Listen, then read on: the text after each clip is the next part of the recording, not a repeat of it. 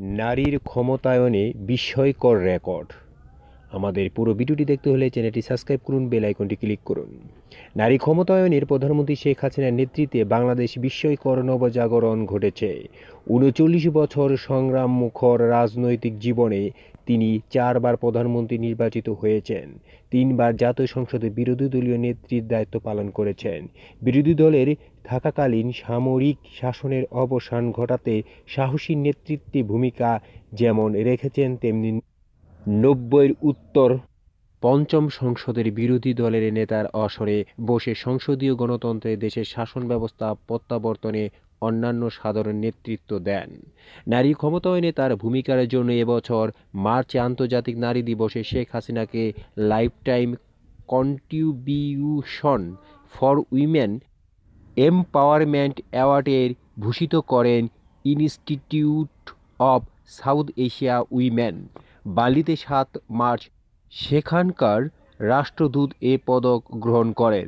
বিশ্বের বিভিন্ন স্বনামধন্য বিশ্ববিদ্যালয় ও ইনস্টিটিউটের শান্তি, গণতন্ত্র ও আর্থ সামাজিক উন্নয়নে গুরুত্বপূর্ণ ভূমিকা পালনের জন্য প্রধানমন্ত্রীকে বিভিন্ন পর্যায়ে পদক প্রদান করে। বার্মার গণহত্যার মুখে পালিয়ে আসা এগারো লাখ রোহিঙ্গাকে আশ্রয় দিলে পশ্চিমা গণমাধ্যম তাকে বিশ্বে মানবতার জননী বলে আখ্যায়িত করে। বিশ্ব রাজনীতিতে তার এই অবদানকে সাহসী ও মানবিক নেতৃত্বের পরিচয় বলে ভূয়সী প্রশংসা করা হয়। সাম্প্রতি বিশ্বনন্দিত মার্কিন সাময়িক ফোর্বস বিশ্বের একশো প্রভাবশালী নারীর তালিকায় উনতিরিশ নম্বর আলোকিত নেতা হিসেবে তাকে তুলে আনেন। তার প্রথম শাসনামলে বিশ্ব রাজনীতিতে আলোকিত কিংবদন্তি লেনসেন ম্যান্ডেলা, ইয়াসির আরাফাত ও সুলেমান ডেমিরেলকে ঢাকায় নিয়ে আসেন। এসেছিলেন মার্কিন প্রেসিডেন্ট বিল ক্লিন্টনও। পার্বত্য চট্টগ্রাম শান্তি ফিরিয়ে আনায় দুই দশকের সহিষ্ণুতার অবসান ঘটিয়ে বিশ্ব নজরেই কাড়েননি। ইউনেস্কো তাকে হোপে বোয়ানি শান্তি পুরস্কারে ভূষিত করে। ইউনেস্কোর পরিচালক নিরানব্বই সালের চব্বিশে সেপ্টেম্বর পদক হস্তান্তর অনুষ্ঠানে বলেছিলেন, জাতি গঠনে আপনার পিতা অনুসৃত পথ অবলম্বন করে আপনি দেশকে শান্তি ও পুনর্মিলনের পথে নিয়ে গেছেন। দেশের শান্তি প্রতিষ্ঠায় আপনার উদ্যোগ ও নিষ্ঠা বিশ্বের শান্তি সংস্কৃতির দৃষ্টি হয়ে থাকবে।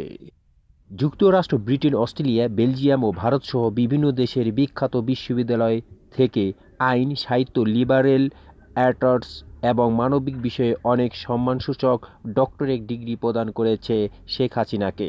দু হাজার দশ সালে সহস্রাব্দ উন্নয়ন চ্যালেঞ্জগুলো অর্জনের বিশেষ করে শিশু মৃত্যুর হার হ্রাসের অবদানের জন্য জাতিসংঘের পদক লাভ করেন। দু হাজার পনেরো সালে টেকসই উন্নয়ন লক্ষ্যমাত্রা অর্জনের আইসিটির ব্যবহারের প্রচারণার জন্য শেখ হাসিনাকে জাতিসংঘের আইসিটি সাস্টেইনেবল ডেভেলপমেন্ট অ্যাওয়ার্ড প্রদান করা হয়। তিনি দুবার স্বাস্থ্য খাতে তথ্য প্রযুক্তি ব্যবহারের মাধ্যমে শিশু ও মাতৃমৃত্যুর হার হ্রাস এবং ক্ষুধা ও দারিদ্র্যের বিরুদ্ধে লড়াইয়ের বিশেষ অবদানের জন্য সাউথ সাউথ অ্যাওয়ার্ড লাভ করেন। খাদ্য উৎপাদনের স্বয়ংসম্পূর্ণ অর্জন, জলবায়ু পরিবর্তনে বিরূপ প্রভাব মোকাবেলায় দূরদর্শী পদক্ষেপের নেওয়ার পরিবেশ বিষয়ক সর্বোচ্চ পুরস্কার চ্যাম্পিয়ন অব দ্য আর্থ লাভ করেন। তিনি সাতত্রিশটিরও বেশি আন্তর্জাতিক পদক লাভ করেন।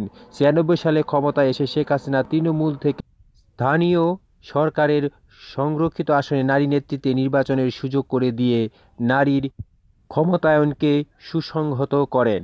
তিনি সংসদে স্পিকার হিসেবে ডক্টর শিরিন শারমিন চৌধুরীর মতো উচ্চশিক্ষিত দক্ষ নেতৃত্বে দু দুবার দায়িত্ব পালনের সুযোগ করে দেন।